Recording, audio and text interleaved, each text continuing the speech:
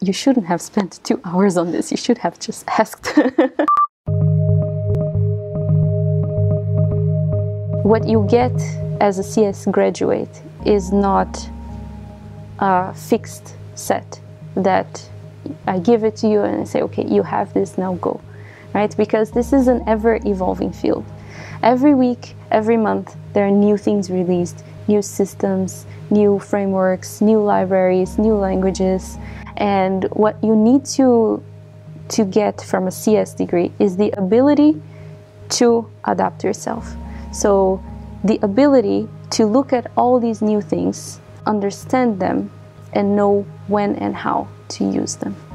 Right? So, I think that's what. Uh, CS education is going to do. It's not going to teach you how to build an app or it's not going to te teach you how to build a website. These are side products of all the things that you learn during the degree.